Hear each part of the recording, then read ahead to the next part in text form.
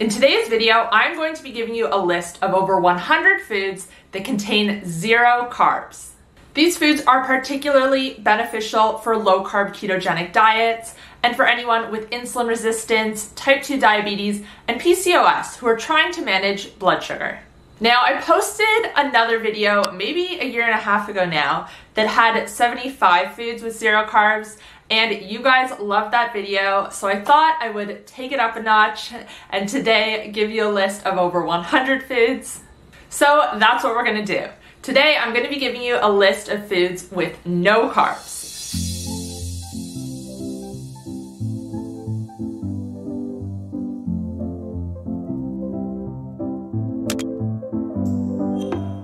Hey guys, welcome back to my channel. If you're new here, my name is Kait. I'm a health coach and I post videos on a high fat, nutrient dense way of eating. If you like this video, please give it a thumbs up, feel free to share, and make sure to subscribe. And follow me on Instagram, Twitter, and Facebook where I share new posts every single day.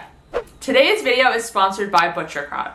For 100% grass-fed, pasture-raised meat, 100% wild-caught salmon, and bone broth delivered straight to your door across Australia, head to healthcoachkait.com forward slash butchercrowd. Now, as I said at the start of this video, these foods are going to be particularly beneficial for anyone eating a low carb or ketogenic diet. Anyone who is looking to lose weight, boost their brain power, reverse insulin resistance, and type 2 diabetes will find this list useful. And that is because when we limit carbohydrates in our diets, our bodies switch from using sugar for energy to burning fat instead. It starts producing ketones, insulin drops, and fat burning increases.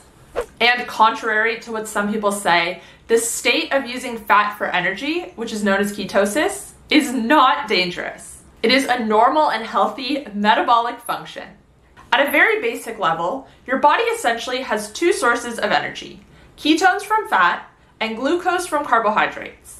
When we eat carbohydrates, they are turned to glucose by the body and can be used for energy. This is a quick source of energy for the body as carbs are broken down relatively quickly. But the downside is that there is only a limited amount of glucose that can be stored in the body, in the liver and muscles. So if you are relying on glucose for energy, you need to be consistently eating carbohydrates throughout the day. Now, if our bodies didn't have a backup source of energy when glucose ran out, we would die. And that is where ketones and ketosis come in. When your body senses your glucose stores are low, your liver starts to make ketones from fat. And ketones are an alternate source of energy. But unlike glucose, where your body can only store a limited amount, around about 2,000 calories worth, your body can store much more energy as fat, which can be turned into ketones. This is literally stored as fat on your body. Even someone who is very lean can have over 100,000 calories worth of energy stored as fat.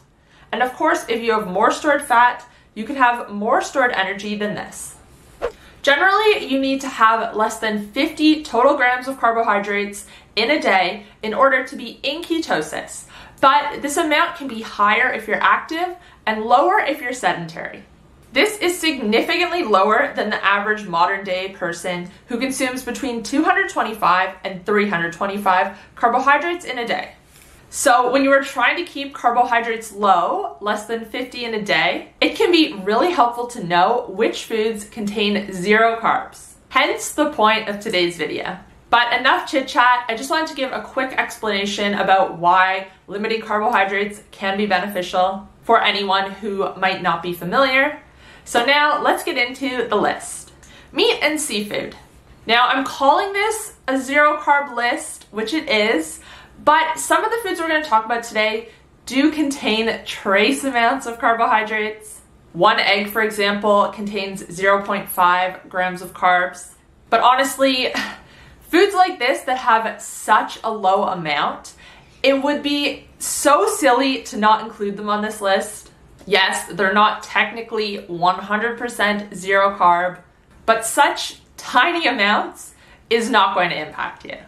I just wanted to give this disclaimer before I'm called out in the comment section. Now, meat and most seafood really are the best low carb foods. But you do have to watch out for anything that is marinated or comes with sauces on it because these are usually loaded with sugar and carbs. Beef, chicken, pork, turkey, lamb, mutton, bison, goat, duck, rabbit, deer, bacon, quail, goose, and kangaroo. Let me know in the comment section down below if you have had kangaroo before. And then for seafood, salmon, sardines, mackerel, halibut, tuna, shrimp, whiting, crab, lobster, cod, trout, bass, anchovies, and herring. Fresh and tinned seafood are both good. Just make sure if you're buying tinned that you're buying it in spring water and not in oil. If you can't find it in spring water, then olive oil is going to be the next best option, but just avoid vegetable oils, soybean oils, etc. We'll talk about why you want to avoid these oils a bit later in the video. Cheese. Now, different cheeses can vary greatly in how many carbohydrates they contain. In general, fresh, soft cheeses are going to be higher in carbs, and hard aged cheeses are going to be much lower with only trace amounts, if any. One cup of cottage cheese, for example, has 7 grams of carbs, whereas Parmesan has 0.5 grams in a 15 gram serve. And I get that these aren't really comparable portion sizes, but I mean, if you're eating cottage cheese, you're probably having at least a cup, and it would be ridiculous for you to have a cup of Parmesan at a time. But hopefully, you get the picture. Now, there are exceptions to the soft cheese, hard cheese rule. Soft cheeses that are aged, such as brie, are an example of this. Brie has 0.1 grams of carbohydrates per a 15 gram serve. But anyways, I probably made that a little bit more confusing than it needed to be. So here are a list of cheeses with no carbs. Blue cheese, Parmesan, mozzarella, Gouda, feta, cheddar, cream cheese, buffalo mozzarella, goat's cheese, camembert, Monterey Jack, Colby Jack, Swiss, provolone, brie, and halloumi. Other animal products. Other products from animals are also great to include and contain next to no carbs. Chicken eggs, duck eggs, fish eggs, also known as roe, beef bone broth, chicken bone broth, fish bone broth, cod liver, and cod liver oil. Now, before I get into the rest of the video, which contains vegetables, fruits, nuts and seeds, and fats, I'm going to take a quick moment to thank today's sponsor, ButcherCrowd. And if you're in Australia, you definitely want to listen up. ButcherCrowd is a meat delivery service that delivers 100% grass-fed beef, pasture-raised pork and chicken, 100% wild salmon, and bone broth, all across Australia. Basically, their range contains a lot of zero carb foods that we've talked about in this video. They have a wide range of boxes to choose from and also the option to build your own. I have been subscribed to ButcherCrowd since the start of 2021 and I cannot recommend them enough. Every month my delivery comes flash frozen.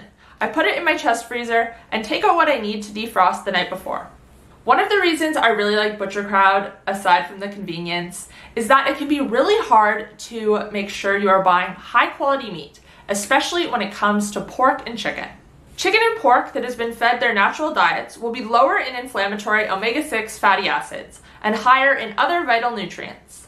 And with ButcherCrowd, I can feel confident knowing that I am getting the best quality meat from ethically raised animals. They offer free shipping Australia wide, and all of their packaging is 100% certified carbon neutral and 100% recyclable. If you want to check out Butcher Crowd, you can head to healthcoachkait.com forward slash ButcherCrowd. I'll also put the link in the description box down below. And make sure to use code KAIT15 to save 15% off your first box. Thank you again to Butcher Crowd for sponsoring this video. Vegetables. Now we're going to get into vegetables and fruit. But here's the thing. It is literally impossible for these foods to have zero carbs. They're always going to contain at least some small amount.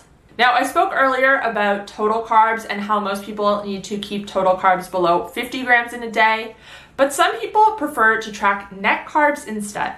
The difference between total and net carbs is that net carbs subtract out fiber and sugar alcohol because these two substances cannot be digested by the body, so the idea is they don't count. So, of course, vegetables and fruit contain fiber, which helps them to become lower in carbs than what you might initially think.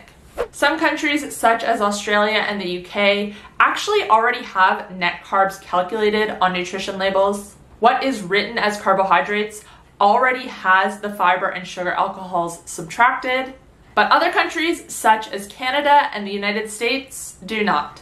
And usually if you're going by net carbs, you want to stay under 20 grams per day.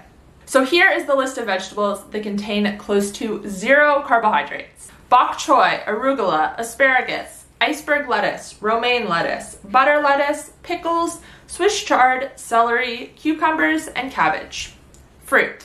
Now, fruit is a bit more trickier because fruit is higher in sugar, which is carbohydrates. There aren't really any that are close to zero carb. I will say the best ones I recommend are avocado, olives, and coconut flesh. Fat. And finally, we're going to finish off with fats and oils. And because these foods are quite literally fat, they only contain trace amounts, if any, protein and carbs. Now I'm going to break this down into three sections. The first is going to be the fats and oils that are best for cooking at high temperatures. The second one's going to be ones that are okay for cooking at low temperatures. And the third is going to be ones that you should never heat at all. The best cooking ones include beef tallow, bison tallow, ghee, coconut oil, palm oil, duck fat, chicken fat, and bacon grease.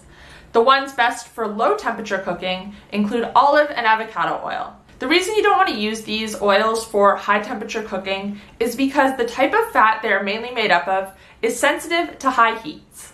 It oxidizes and goes rancid when heated too much, which causes free radical damage and inflammation in the body when we consume them. And just so you know, the smoke point is not the same as the point at which the oil oxidizes.